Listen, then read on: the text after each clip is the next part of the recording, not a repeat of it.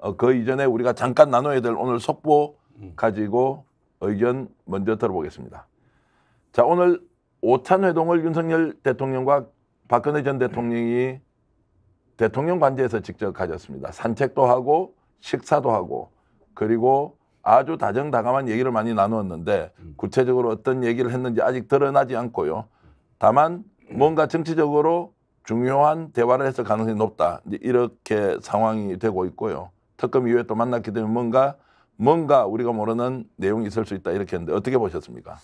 예, 벌써 세 번째 만남이에요. 매월 만나고 있습니다. 예. 아니 급하긴 급한나 봐. 왜 저렇게 자주 만나? 뭐가 아주 몸이 달았어요 지금. 그런데 지금 저기 오늘 박근혜 대통령 전 대통령을 유영아 변호사가 뭐 수행했다고요? 네, 예. 어, 그러면 아마 대구 출마에 무게를 싣고 이 부분에 대한 어떤 지분을 요구했을 가능성이 있어 보입니다. 실제 그렇게 했을까요? 저는 처음부터 에, 저 변호사가 옛날부터 출마한다 그럴 때 잘 됐으면 좋겠다고 노골적으로 응원한 게 박근혜 전 대통령이에요. 네. 예, 이 부분에 대해서는 변함이 없다.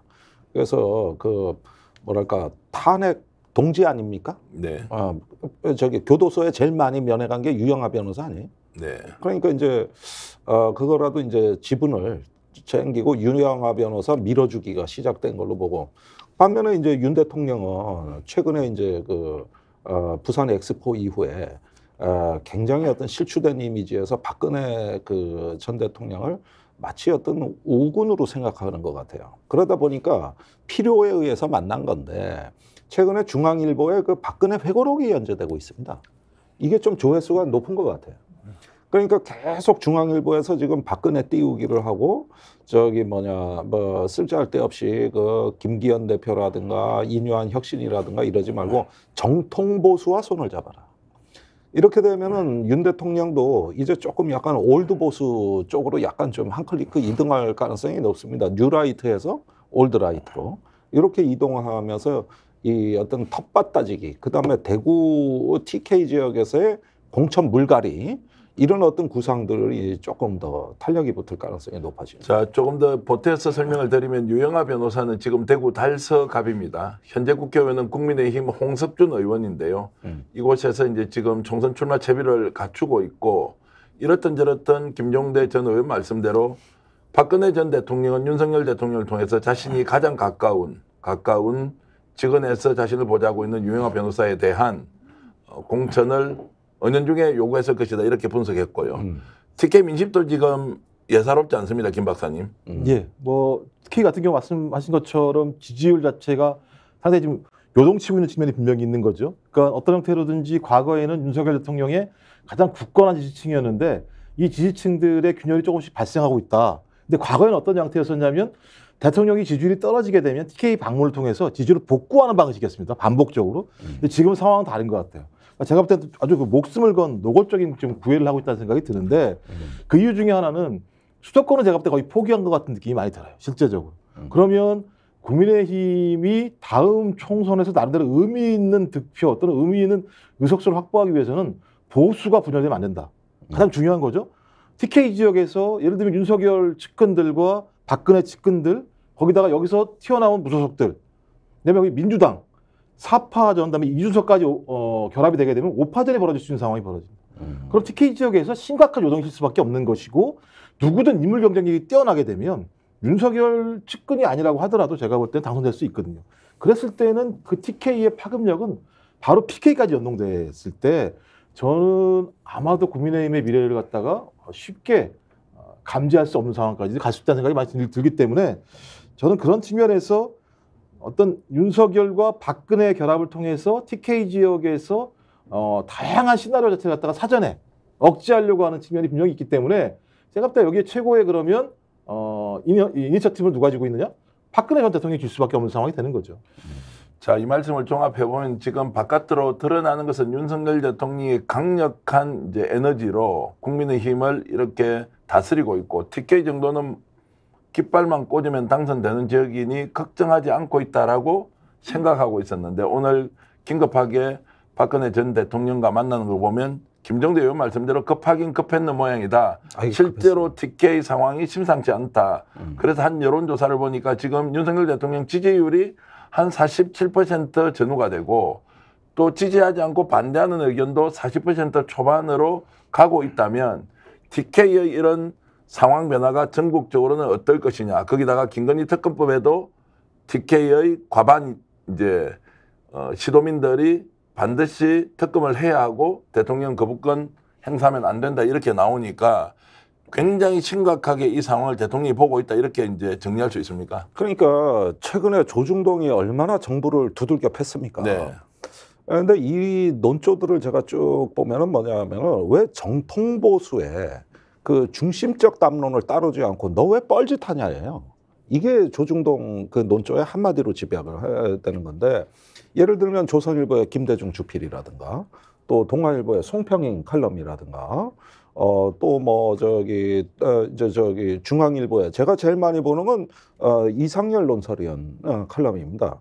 보면은 시장주의자의 방법론에 맞게 이 어떤 그 저기 경제는 시장의 논리로 그 다음에 어떤 정치 이념은 올드라이트의 정통 보수 엘리트답게 좀 일을 하는 거고 너절너절한 것들은 좀 이제 정리 좀 해라. 그게 대표적으로 김건희 문제입니다. 그러니까 이런 부분에 조중동이 쓴소리를 했다는 거죠. 그런데 대통령은 변한 게 없어요. 아무것도 변하지 않아요.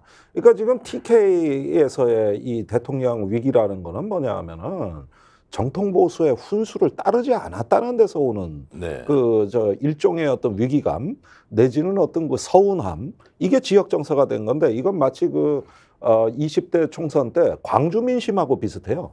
그때 그 저기 국민의당 바람이 왜 불었습니까? 자, 지금 이제 실시간 댓글로 여러분들 의견 주고 계신데 혹시 우행님이 이렇게 올렸습니다. TK 상황 심상치 않음. 지금 엄청 욕하는 사람 많아요. 이제 이렇게 글을 올려주셨는데 김 박사님, 그러면 오늘 윤석열 대통령, 박근혜 전 대통령 만나면 이제 TK 민심이 다시 호의적으로 바뀔 가능성이 있습니까? 제가 볼 때 호의적으로 바뀌려면 서로의 지분을 공유하겠다고 하는 확실한 징표가 나와야 되는 거죠. 예. 아무런 징표도 없이 둘이 만나는 것만으로 TK 지역의 민심이 저는 어, 다시 돌아갈 거라 생각이 들지 않고요. 이유는 뭐냐면 60대 39도가 계속 지속되고 있지 않습니까? 대통령의 부정적인 평가가 60%, 그다음에 긍정적인 평가가 30%가 유지되고 있는 구조에서 이 김건희 특가법 문제만 유독 70대 20 구조를 가지고 있습니다. 그러니까 70%는 특가법을 받아라. 그다음에 거부권 행사하지 말라는 의견이라면 보수층의 3분의 1 정도 같은 경우는 아무리 보수가 중요하다고 하더라도 김건희 특검법을 받지 않는 보수는 인정할 수 없다라고 하는 흐름이 존재하는 거거든요. 그러면 보수의 지지층이 가장 많은 데가 어디입니까? TK하고 PK 지역입니다. 그다음에 서울이거든요. 전 그렇다면 서울과 TK, PK 지역에서 적어도 보수의 상당 부분이 이 문제에 대해서 제대로 만약에 어, 민심과 다른 방향으로 간다면 간다면 전 대통령에 대한 신뢰 자체가 일정하게 허물어질 수 있는 측면이 분명히 있다.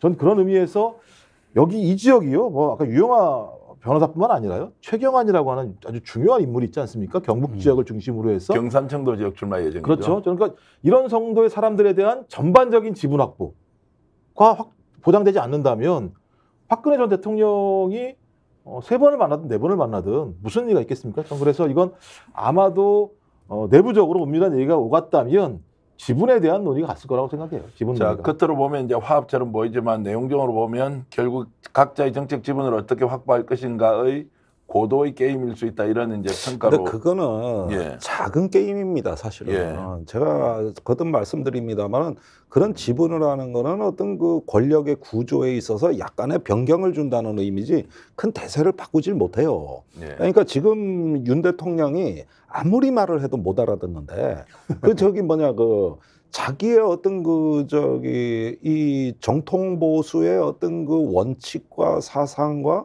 그 다음에 실력을 갖추는 모습으로 좀 리더답게 변해달라는 게 제가 알기로는 TK의 민심의 핵심이라고 봐요. 그래서 저기 저 지분 몇 개 달고 이렇게 좀 악세사리 놓는다고 해가지고 딴 사람이 됩니까 그게? 그러니까 아직까지 판을 정치를 작게 보는 빨대로 세상을 보는 거예요 저게. 와, 우물도 아니고 빨대. 망원경으로 봐야 되는데 빨대 이렇게 어, 구성만 이렇게 보는 어. 사실 빨대로 세상을 보는 저는 거예요. 오늘 이제 저 기사를 보면서 좀 놀랐던 게 전영기 대통령이 연말에 정말로 급박한 정책 상황에서 환담 나누고 식사만 했는데 내용이 전달되지 않는다. 이거 뭐냐? 정말 국민 보여주기 쇼 아니냐? 아니면 의제가 없는 상황에서 긴급하게 만날 수밖에 없는 상황이 양쪽이 동했다. 이제 이런 걸 보면서 대통령의 모든 행위는 정치적 행위이고 거기에는 메시지가 담겨야 한다. 그러면 과연 오늘 이 모임이 어떤 의미로 국민들에게 전달되는지 사실 잘 모르겠다. 저렇게 한다고 문제의 권한인 윤석열 대통령이 바뀌지 않는데 어떻게 정치판이 바뀔 거냐 이런 생각을 하면서 정말로 정치를 위해서 만났다면 그 내용도 소상히 밝혀야 하고 그렇지 않다, 않다면 저런 쇼는 그만하는 것이 좋다